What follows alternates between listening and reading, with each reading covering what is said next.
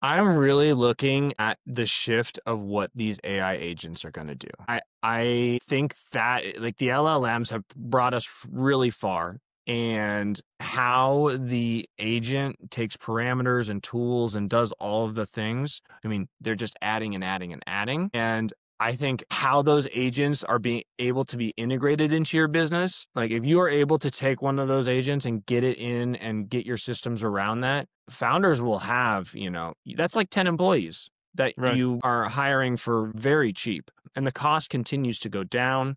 Um, uh, so I think, you know, realistically, the cost of information is going to zero as long as energy can kind of prices can come down. And that is really um, a big shift because I don't think people realize that you have access to infinite knowledge in the next year or two. Uh, and, and, maybe it's a little bit longer than that, but I think that is like the big shift